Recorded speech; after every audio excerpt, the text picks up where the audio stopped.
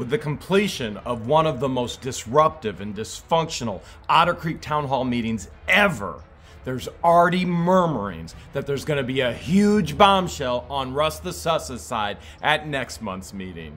The question is, is this one going to blow up in his face too?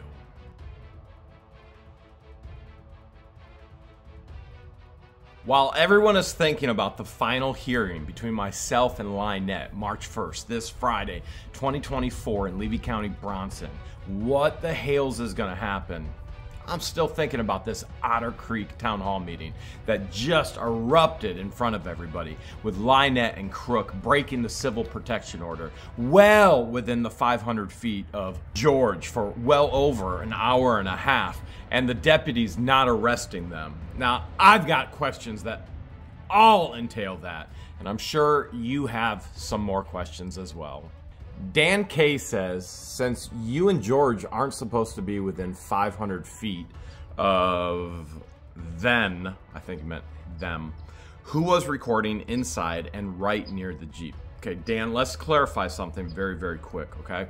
So, Judge Craig DeThomas has illegally placed a temporary injunction on me. The illegal legal parts are taking away my freedom of speech, my First Amendment right. The illegal parts are my Second Amendment, my right to bear arms and protect myself and those that I love, access to my property, um, actually, I mean, his first order took away pieces of my property because that would have been within 500 feet. Because recall, John Crook and Lynette stalked me to Otter Creek, intentionally bought property literally across the street from me. The road is 12 foot wide, literally across the street from me. So that radius would be 500 feet minus the 12 feet of the road all the way into my property that I couldn't have access to. And he's also taken access away from my main road, stating that I can't drive on it. It's me. It's not George. It's me. The only one is me. He's placed it on me. So let's clarify that first, okay? So when you ask the question, if you and George aren't supposed to be within 500 feet, it's not George. George drives by their place every single day. George drives down the road every single day. George films whenever she wants to because she has a legal right to film for her own safety and protection and accountability. Now, who was recording inside and right near the Jeep? Dan, I don't know. If you go back and you look at that town hall meeting, everybody literally has a camera in their hand. When Tubetown was said by another YouTuber as a joke, and then they all have run with this, literally even Russ the Suss is filming with a camera in his hand. Instead of pledging his allegiance to his flag, to the country that he supposedly had served, he's more worried about recording. Tubetown, I didn't bring it. These individuals are literally the ones that are pushing Tubetown forward. Lori Simmons says the only reason Lynette's lawyer would have told her to go to that meeting, let's just stop right there. No good legal representation, no good legal counsel, no good lawyer is going to tell their client to go to the meeting knowing that they have civil protection orders against them. None. There is no valid reason. There is no invalid reason. There is just no reason. There are no exceptions for them to be there at all. There is no legal exception. They legally cannot be there. So Lynette is a liar. And I'm exercising my First Amendment right in stating that. And uh, even though she may say it's slander, I've got plenty of lies that I've caught her in. It's also the truth. So it, the hard part is actually even trying to believe that her lawyer would state such a thing. I can't fathom that any good legal representative, any good counsel, any any lawyer is going to put their client in that position. But Lori Simmons goes on to say the only reason Lynette's lying I guess it's lying eddies. That's what it is. It's lying eddies. Lying eddies. Okay. Lying Eddie's lawyer would have told her to go to the meeting and is hoping Jeremy would show up and break the order. Luckily, he's smarter than that. Of course, 99% of what comes out of her mouth is a lie, so who knows if, oh, I guess I just said that. Who knows if her lawyer really told her that or not. So I can understand I can understand where they're trying to play a chess game and say, well, if Lynette's there, which I can't understand why she would be there with a four-year-old trapped in a vehicle with Crook at 4:45 when she claims that Crook is a runk, that Crook is a rug dealer, that Crook is a abuser. Um, on a vapor. And I, I, I, can't fathom that. I can understand where their faulty thinking may be oh, if I'm here and Jeremy shows up, I can call the sheriff. Okay, well, you got an entire community that does not want her there. And so, um, yeah, we got a tip. We got a call. The residents all called us, let us know she was there. So understand that um, the Otter Creek residents aren't for her. They truly are against her. And she should have never been there in the first place. Now, even to trap me, which I can, un- I can understand where you could come up with that conclusion that it would be entrapment. It's trying to entrap Jeremy. If I show up, I just have to exercise the ability to immediately remove myself. So if I show up, see they're there, I either keep driving by, I turn around, and I leave immediately. Well, I already knew they were there because the residents of Otter Creek already filled us in. So I want you to understand that as well. We already knew they were there, but they can't be within 500 feet of George which is why we've already filed yet another contempt of court charge against them in the state of Ohio, where we are asking that they are mandated to appear in person.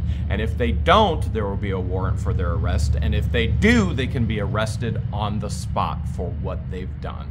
Nice 58 has a question and says, Hey, if they walk out and they literally, they verbally said, we're not going to vote. Talking about Russ the Suss and Don the Con, which I'm sure you all remember. Russ the Suss has this leash on Don the Con. Come on, we're going. And then when Vice Mayor Zim says, please be quiet or leave, sit down or leave. It was sit down or leave. And then Don the Con pouts. And I think he even stomps his foot. Russ takes his binder out that he's never had before, and he removes himself as he removes the recorder of the meeting as well. So, since they verbally said they're not going to vote and they left, isn't that pretty much saying they quit? They walked out. They should have avoided, they should be avoided out of their position. So, there's no doubt they walked out. But I think you also have to understand just like if Joshua Silverman told Lynette and Crook to be there to try and entrap me as a chess move. Remember, this is this is really a game of moves and maneuvering in chess. Well, Russ is trying to play chess as well. The issue is none of these individuals are that bright to be able to win. So they make a move and then that move gets taken over and then they throw up their arms and go, "I quit, I'm leaving." So the aspect of them leaving, they were still there in attendance. While there wasn't a roll call, Madam Mayor was doing roll calls on purpose for the minutes because when they would do banking, when they would do third party contracts, they have to have the minutes and the minutes show who was actually there. So there was no roll call at this past meeting. And that's unfortunate, but at the same time, they did show up. So the minutes were approved, the agenda was approved, then multiple minutes were approved, and then they said, I'm leaving and I'm taking my ball, or recorder, or binder, or voting privilege. So this is where a lot of people have said, well, shouldn't they just hold back the check until the end of the meeting? You get paid if you actually show up and you stay. Well, the reality is they did show up, and it's not illegal to leave a meeting. And so this is another maneuver to try and stop something from going forward that they don't want. Keep in mind, Russ the Suss ignorantly did not fill out forms, Form 6, or qualify for reelection.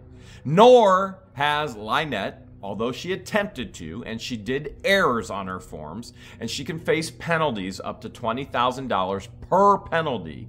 And then she withdrew, she wrote and withdrew, and you go, how do you know? Because we public record requested all of that information. We have that for court.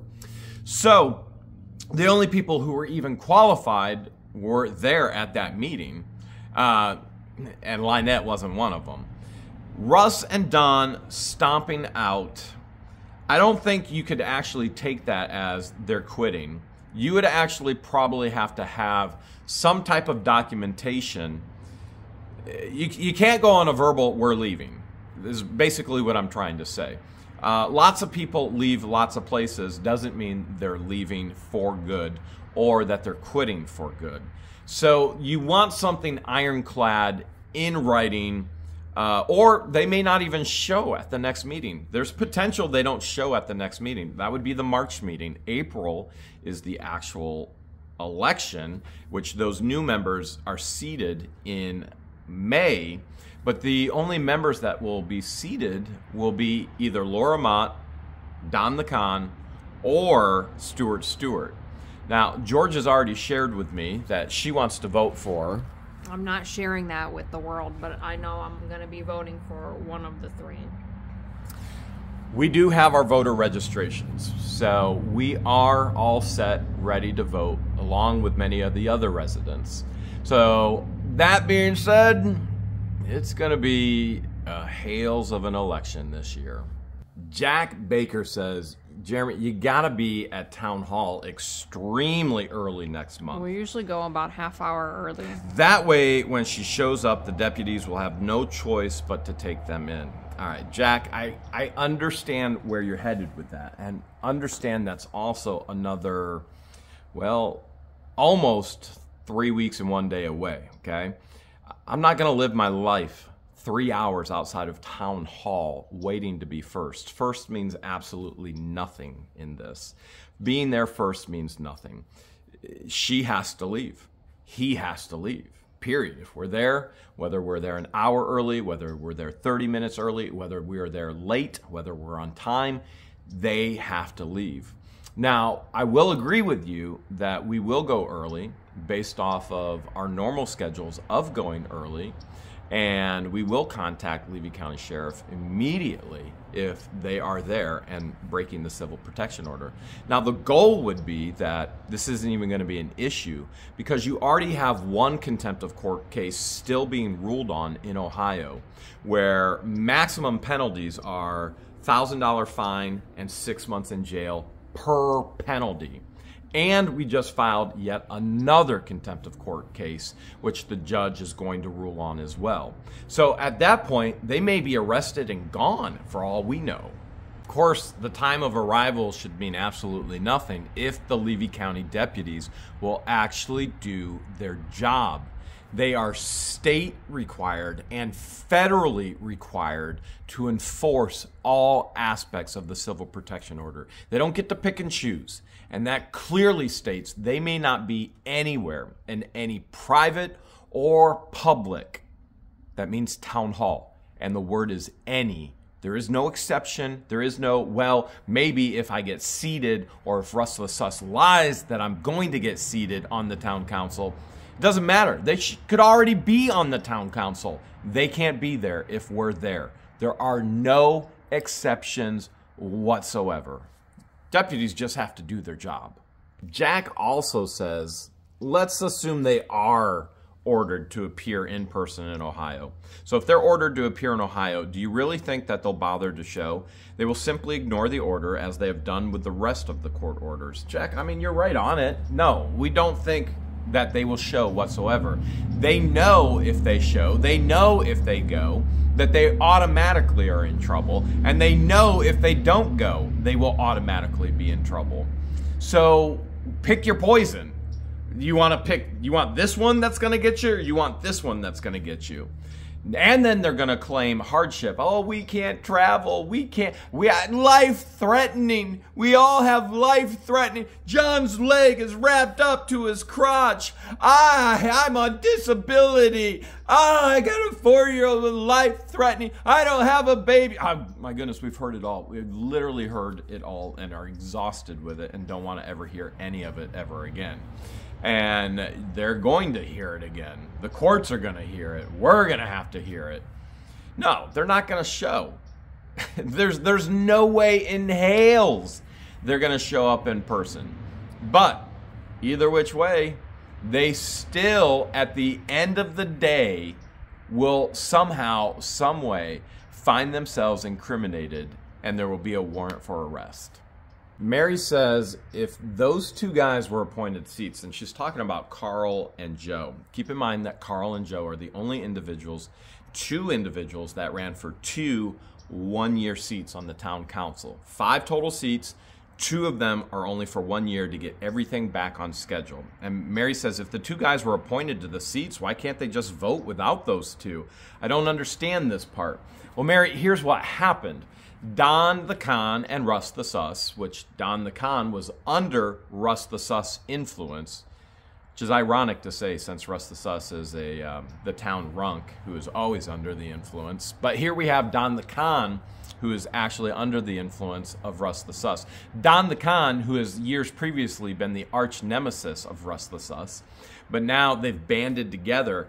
Once those two removed themselves, then the lawyer Megan I don't know what Megan's last name is.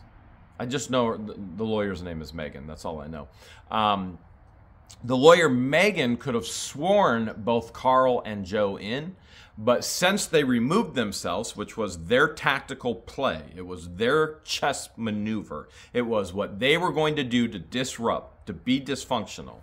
Once they removed themselves, she said, All right, it's over. I can't swear them in because we no longer have a quorum. Now, many understand what quorum means and many don't understand what quorum means. Quorum means a majority. So there's five seats. If there's five people there, three votes for or against, that's a quorum, that's a majority. Let's say there's four people there. Well, then you would need three votes. Let's say there's three people there. Well, then you need two votes for a majority.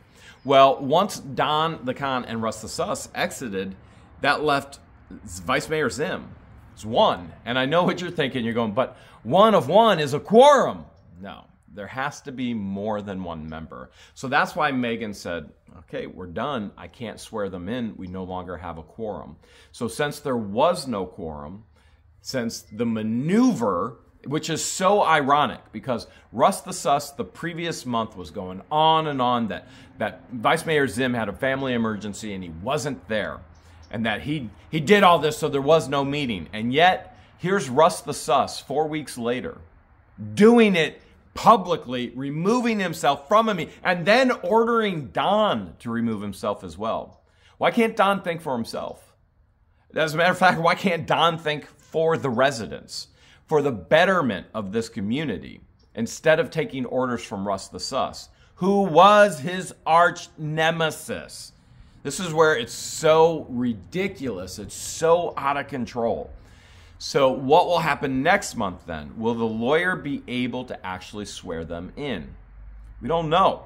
We know that we hope that these individuals will be able to be sworn in. But in all reality, the one thing that we've learned about Otter Creek, the one thing we've learned about Levy County is every day something else will shock you.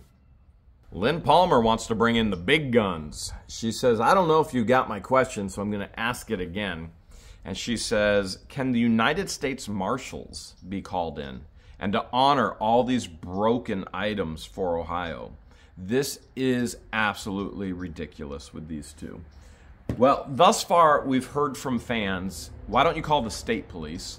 I honestly don't know who the state police are unless they're talking about state troopers.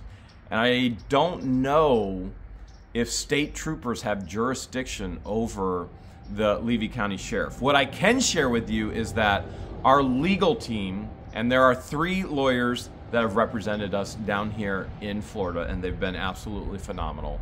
Our legal team has never mentioned, hey, contact the state troopers. They have jurisdiction. So that hasn't been an option that's been brought up to us yet. Now, you're trumping state troopers, which is the only state police that I know of. Uh, and there could be others that I'm, unfamiliar with. So I just don't know. I mean, that's the only thing I can come up with state police. But now you're saying, well, let's bring in the U.S. Marshals. Let's go federal. Again, I can say that our legal team has never brought this idea up to us. Although, boy, wouldn't it be amazing if we could just make one phone call and get the U.S. Marshals and say, listen, Florida is really messing this up. Florida, the state attorney from the state attorney's own office told the Levy County sheriff not to enforce the civil protection order, breaking state law, breaking federal law. Uh, U.S. Marshals, can you come on down and take care of this? Wouldn't that be amazing? I mean, you would think the very first thing they would do is they go straight to the state attorney who said not to enforce it, and then probably to the deputies who hadn't enforced it. I wish it were that easy. And maybe it is. Maybe there is. You know, there's often when you're trying to find solutions, you go days, if not weeks, if not months, trying to find the right avenue, trying to find the right contact, trying to find the right person, trying to find the right solution. And so there may be one along those lines. The only solution that we currently know of is actually filing lawsuit against the Levy County Sheriff and against the state attorney and against the state of Florida. Janet Sobeck pretty much sums this up perfectly. I mean, she really, really hits the nail on the head, okay? And she says this I was totally appalled when Russ the Suss didn't put his hand over his heart and say the Pledge of Allegiance. He was too busy messing with his recorder and his phone. And he was supposedly in the service. Very much so appalling. I agree with you. He's a disgrace to the United States of America and to the military. Don's statement about the Bible needing rewritten, oh my. The sheriff did not arrest Lynette or John Crook for being there. When is this going to stop? This is ridiculous. My heart goes out to Jeremy and George. All the stress is not good for your health. You're in my prayers. God bless you both. Janet, when's it going to stop? Well, it's going to stop when the authorities actually make it stop. The question is who? What authority? So you currently have the court system in Ohio involved. You have the court system in Florida involved. You have the Levy County deputies. And so thus far, Ohio has stated, yes, they absolutely are a threat to both my life and George's life. And so both of us are covered under the protection order. Now, we attempted to get all employees covered as well. And our lawyer, as we went into it, told us they would be covered as third parties. Unfortunately, it was not granted that way. So the only parties that are actually covered are myself and George. So we both are covered 500 feet. Wherever we are at, they must be 500 feet away. I'm looking at the road right now. I'm actually looking at every vehicle that goes by because that's what George and I have to do now. We literally have to make sure friend or foe, friend or foe, friend or foe. What are they going to do to us next? What are they going to do next?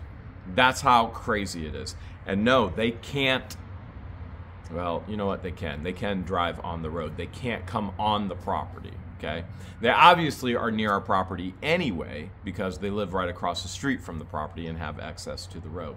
So you've got the Ohio State already stating, yep, they are an endangerment based on all the information, the truth that was shared with them. Everything from the signs, from the postings, from the videos, from the recordings, it was all shared in Ohio court. And then you have Levy County Sheriff who are supposed to act upon it and enforce it from day one of returning to Florida. In the Levy County Sheriff parking lot, we're stalked. Not only are we stalked, then they go and pull straight up to our vehicle and our trailer. Major, major issue. Major issue. And what does Levy County Sheriff do about it? Eh. Nah, as if they can't be annoyed with it. Now, don't get me wrong, I understand there's bigger things. There's bigger things than what I think is the biggest thing in my life right now, right? So, what's important to me, them enforcing these civil protection orders, isn't necessarily what's important to the Levy County Sheriff Department. I mean, they may have murders to investigate, they may have uh, child offenders to investigate, and I'm sure they do. Uh, there's no doubt about it. They do. There's, there's, there's much what they would consider bigger crimes, and frankly, what I would consider bigger crimes than breaking a civil protection order. You would think that individuals would not. you would think that individuals, meaning Lynette and John Crook, would be civil and not break the orders that they have been legally mandated not to break. And you would think that Levy County deputies would actually enforce it and arrest them immediately. If I would have shown up to the town hall meeting and if I would have stayed, you can guarantee 100% that based on a temporary injunction that Judge DeThomas has placed on me, with no evidence on anything that I've done wrong, based off of evidence, uh, we can't even call it evidence. There's nothing. Been, there's nothing been actually submitted as evidence by Lynette yet. So everything has been thrown out as hearsay, allegations, allegations stating that people who watch my videos contact her and threaten her, and allegations that my lawyer tried to bribe her and pay her off. Um, that's nothing of what I have done. It's completely opposite. It's what others have done, and and a judge trying to give me consequences for what others have done. it doesn't work that way. It does not work that way. And yet, this judge somehow thinks that he can hold me accountable for what other people have done. Uh, allegedly, there is no proof. There literally is no proof. There is no evidence of any of this, which blows my mind, yet again puts us in the Florida court system. When does it stop? It probably stops one of two ways. It stops when Judge DeThomas stops and goes, Oh my goodness, these two are toxic. And he says, I'm going to actually give an injunction to Jeremy and George, which we filed for injunctions already. We filed for injunctions against them based on the law, good faith and credit, based on our civil protection orders from Ohio, in good faith and credit, that's a legal term, that the judge, Judge DeThomas, should have automatically given us an injunction in Florida. And you know what he did? He denied it. And then he sealed it. And then we had to pay money to get it unsealed, to get all the information. That's a little insane, don't you think? So I think the way that it stops is Judge Thomas stops doing what he's doing and actually goes, "Oh man, these two are toxic and they're in danger to Jeremy and George," and then he slaps the injunction on them. I think once there's a Florida injunction, I think the deputies will actually act. I think they will go immediate. You're arrested, done. But until then, they want to look and snub their nose up at Ohio. It's the bigotry. It literally is the bigotry. Coming down here, being from up north, bigotry. Oh, oh. You all know what they call us Yankees. I'm not even from New York. I'm from Ohio. Corn fed, born and raised. On the playground is where I spent most of my days. Maxing, relaxing, keeping it all cool, till a couple of fools up to no good started making trouble in my neighborhood. Casey Tanner says, okay, so Don the Con, Russ the Suss, they walk out, which we've talked about already. They got up at the start of the meeting. They walk out before anything happened. Does the city still have to pay them the $100? I wouldn't. And does that count towards if you miss two or more meetings and then you're out? So, Casey, I'm sure they were paid, okay? Let's focus on the right thing to do, even if the wrong people did the wrong thing. So, the right thing to do is they did show up. I don't know if you can justify not paying them if they walk out. But you do make another good point. You say, well, I wouldn't pay them. Remember, you got to do things the right way, the legal way, okay? And does it count towards if they miss two or, meeting, two or more meetings and then you're out? So, one of the things that is a problem for Otter Creek, and you heard it in the last meeting, is the charter is old and out of date. And many of the things in the charter are illegal. So, for example, the charter states if you miss so many meetings, then you can be you can be kicked off of the council. Well, state law says the only way to be removed, the only way to remove a government figure is for the governor to do it.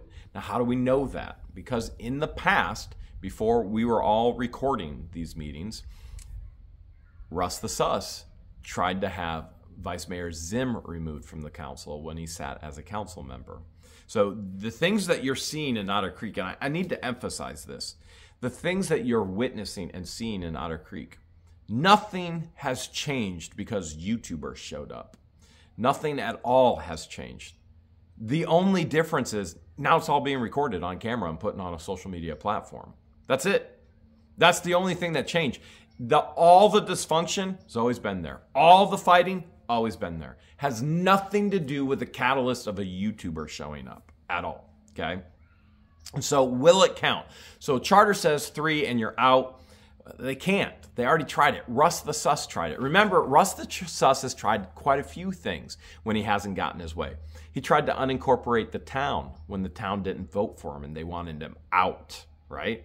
Then he tried to get petitions and signatures and couldn't even get that right. He's tried to have Vice Mayor Zim removed formerly when Russ the Suss was mayor and Vice Mayor Zim was just a council member sitting at the at the table. That didn't work. That's where he found out, oh, okay, the governor's the only one that can remove because Russ the Suss thought he was the man with all the power that could do these things. That doesn't mean that Megan, the lawyer, can't say, hey, all right, walked out of a meeting. What's going to happen next month? I'm guessing, and it's just a guess, they're going to be extremely disruptive, dis- extremely dysfunctional, and I believe they're going to attempt to walk out of a meeting again if they even show. It may be next month they don't even show. They may not show going, all right, well, you can't do anything. Nothing can be done if we don't even show up. Oh, I can guarantee you Lynette and Crook will be there. Three, maybe four, maybe even a whole day earlier, just waiting, just waiting outside in a vehicle with a, with a child, just trying to keep us away. Which the deputies, after the meeting were over, that is after an hour and a half of them breaking the civil protection order, told them they legally must leave. Well, it was all said and done by then, right? So the lawyer could make contacts with the governor's office and see if something could happen if they continue to act this way. But for us to forecast and try and figure out if that's going to happen, we just don't know yet. Wenmar says, Hey, um, I see a little problem with addresses. Um, Lynette and I think even Meek's actual residencies are listed in Bronson. It only shows they have P.O. boxes in Otter Creek. How can Meeks be on council if he doesn't have his residency in Otter Creek? All right, Wenmars. Well, we've kind of tackled this before in the past, but we'll tackle it again. Remember, we live in a town just over, a smidgen over one square mile. There are roughly 100 residents here, give or take, on any given day. Maybe more. According to Gale, 46 houses, no more than 50. I think Gail did say 46 houses. I think last year there were 71 registered voters. Yeah, the numbers go up and down based off of based off of whether people want to stick around or not. Um, or if they come in, a lot of snowbirders. You got George and I as snowbirders. You know, you've got Deanna here permanently now, so that's full time. That's another one up. So understand, it's a tiny, tiny town, less than one square mile, and within the town, I'm gonna guess, if if not close to, George and I probably own more acreage in the town than anybody else. There are those that we know own a lot of acreage, but it's out of town. It, it goes past the the border or the boundary lines. So that being said, our addresses as well are in Bronson. It's the way Levy County system works with taxes and with auditor site. They just say that Otter Creek is Bronson because Otter Creek is too small, I guess, for their system just to be Otter Creek is what it appears to be. So even our physical our physical address, like right here where I'm at, the schoolhouse, we've shared that physical address before. It's definitely Otter Creek. But legal sites are going to show it as Bronson. So Russ the Suss, he lives in Otter Creek. Yeah, he just lives straight down over there. He's right across the street. He's one of my horrible neighbors. So I've got an, I've got an incredible neighbor right there. I've got an incredible neighbor right there. We've yet to meet our neighbor right there. We have an incredible neighbor right there. That's a fan and um, and has messaged us and said, "Hey, I'm a big fan. I love what you're doing. I love that you're cleaning up the property." So haven't met the neighbor. Great neighbor. Great neighbor. Great neighbor. Russ the Suss. Horrific neighbor. So you understand, vast majority of people are great neighbors here they all are residents, regardless of their physical addresses being out of Bronson for legal sites and legal reasons. We all have P.O. boxes.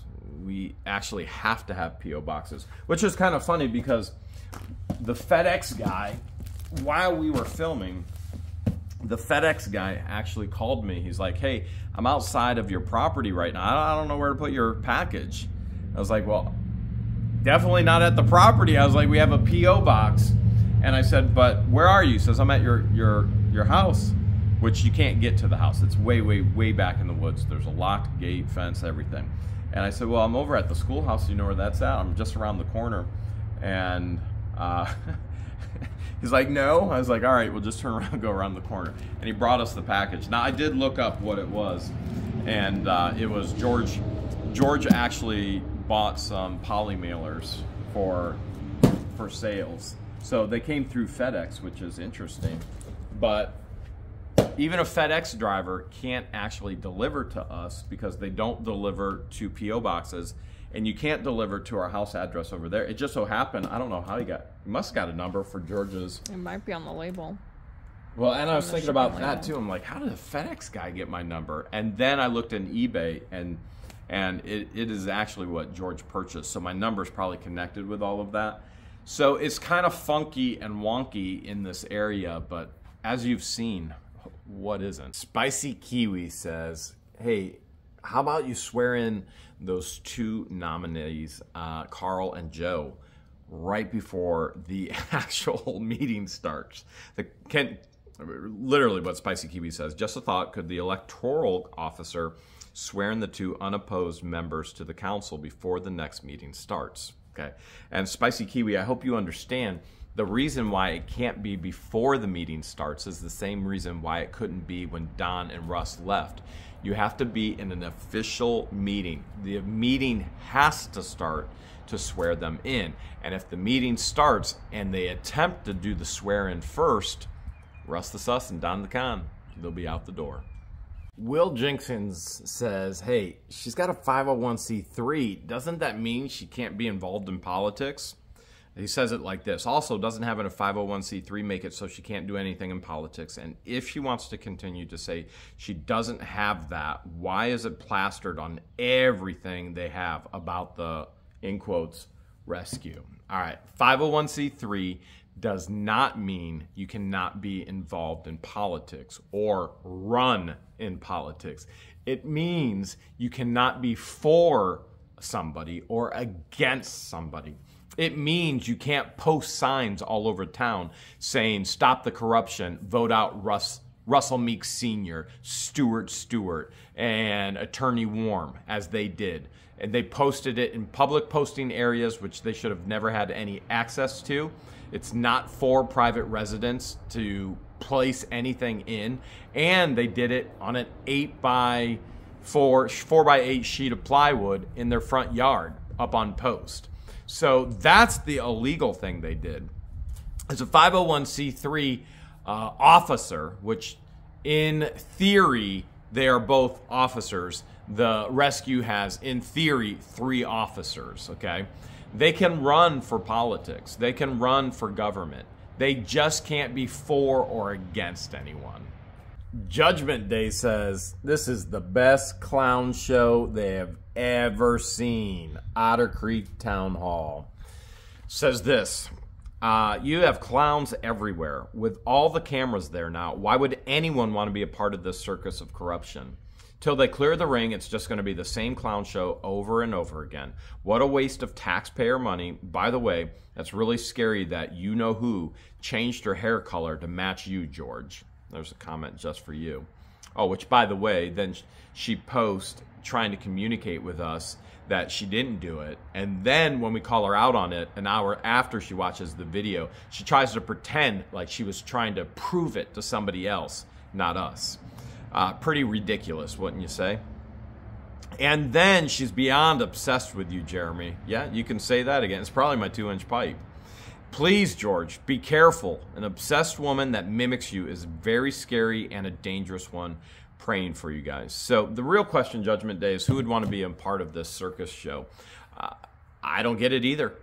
I mean, it went from one camera, which was not ours, wasn't even ours. It was John Crook and Lynette, who illegally, being officers of a 501c3, started Otter Creek politics groups and being all against Russ the Suss.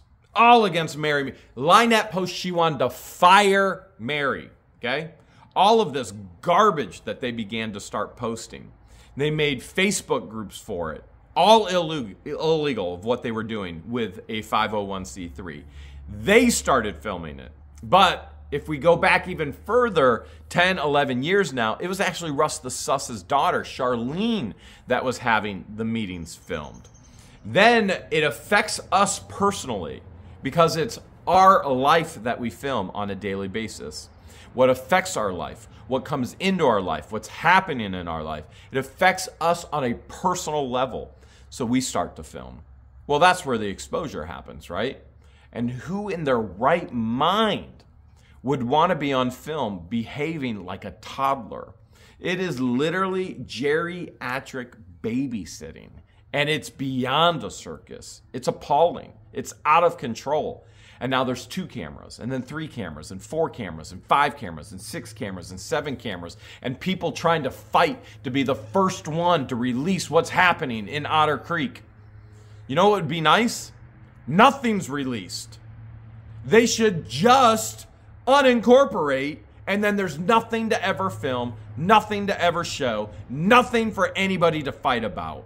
That would be the best thing for this tiny town. Lavender Blue says the passenger door on the car, if you look at the Otter Creek video, you can plainly and clearly see the kid, clear as day. So, for someone who's claiming that she's so protective of this kid, why did she bring her child to a situation where she knew there was going to be multiple people filming from all angles? And on another note, since they're all copying everything you say and do, Jeremy, I could have so much fun with this. I did it to a coworker years ago. I think, George, maybe you should dye your hair hot pink and see what follows. Maybe you should do a blast of the 80s. You should go with all, um, what was those, wind jackets? Remember the wind suits? Maybe we could get matching windsuits. Go to the meetings in matching windsuits from the 80s and we'll dye our hair. I'll do a spike. I'll get frosted tips and I'll spike it. And you can you can go with hot pink. I mean, Where is, would she get the money though to buy the the suit? Oh wait, she would take money from oh, the she would turtle take, pellets. Yeah, she would to take money. Yeah. So instead of buying pellets for the GoFundMes. turtles and tortoises, she bought Should put a GoFundMe up. makeup and hair dye yeah. yeah. So where's all this money? because that's more important. Because we've seen post after post after post can't even afford to feed themselves. and she's let wearing new alone the shoes turtles. every time she co- shows up to court. This is interesting. This is very interesting. But apparently, the couple that robbed her robbed her of all of her personal Um, everything, belongings. everything, everything, according to her posts. Mm-hmm. So, and again, we've reposted and we've shared some of those posts as it is already. But um, the fact still remains that we could have some fun with it. But as Lavender Blue has clearly stated, why does she bring the child to a situation where there no, she knows there's going to be multiple people filming at multiple angles? So she's running to a court stating, oh no, they're filming my child. Then places the child right by the door to block the, the way. front and center. Literally front and center. Then nobody has a mask on, including her, who she claims she has to, no matter what. No matter what. Life threatening. And you've got her abuser vaping in the vehicle, which could kill her. Anything could kill her. and we have deputies everywhere. Um, this is a volatile situation for a child to be placed in. And the only people who place this child in this situation wasn't her lawyer, regardless if her lawyer truly ever did say, yeah, go to the meeting. It wasn't the state attorney or the attorney general. I can assure you that as well, because no attorney general is going to give legal advice to Lynette or Crook and say, oh, yeah, go to the meeting. But she states they gave him permission. They can't give permission. Ohio has taken every right away. If we are there, they must be 500 feet away. So instead of protecting a child, they continue to put the child in the most volatile situation. Main Magic says if OC, the Otter Creek, is responsible for actually enforcing the protection orders, Okay, so let's back up a little bit. I have shared that Otter Creek is responsible. Just like our town up north, our police, the entire department up there, have copies of the protection order. They must have them on file in our town. And so, well, it's a village up there. the town here must have it on file as well. They are, the town is responsible for enforcing the protection orders, as is the county, as is the state. And so, um, and the attorney representing the interest of Otter Creek, should you or your attorney make her aware that a sworn officer of the Florida court shall have to indict or indicate that John Crook and Lynette will have to leave if George is in attendance at the meeting. Well, here's the issue. So Otter Creek is responsible, right? But who do they have? Who's on salary? Well, they have Belinda on salary, and she has her responsibilities, which do not include enforcing civil protection orders. You have Richard on salary, and he's maintenance, and he has his responsibilities, which does not include enforcing civil protection orders. Do you understand that Otter Creek is also they're responsible for code enforcement? That all this garbage in this town shouldn't be there? Mainly Russes, Dons, Frankly, animals that aren't on leashes. I don't care how these individuals live until it impacts how I live. You understand when you live in an area, one way one person lives, for example, encroaching on my property, turning it into a dump, selling drugs on my property, that that affects the way I live. Not okay. Another person, you already know who it is, pulling out firearms on me, right? Posting garbage everywhere. I don't care how individuals live if it doesn't affect me. When it affects me, then there's an issue. So anybody who wants to live the way they want to live, that's fine. Go ahead and do it. And if you want to trash up your entire property, you probably shouldn't live within city limits where there are ordinances and there are laws and resolutions. But Otter Creek is responsible for code enforcement. Who's going to do it? There is nobody on salary that's a code enforcement officer. There is no police station. There is no police in Otter Creek. There is no court in Otter Creek. It's funny because as we show court and we show the sheriff deputies and all this, many people will go on to leave comments and say, Well, I can't believe that in Otter Creek. Listen, Otter Creek has nothing. We came to Otter Creek because it was the central hub to getting to all the major cities within two hours, and we're next to the Gulf Coast. And we didn't want to be around anything. We wanted to be in the woods to hide and to live peacefully. And the exact opposite has happened. So while Otter Creek is responsible, they don't have anybody here that can actually take on the task. Rip wants to know what's behind the Ohio orders. And Rip goes on to ask was there any alleged stalking or harassment which occurred in Ohio?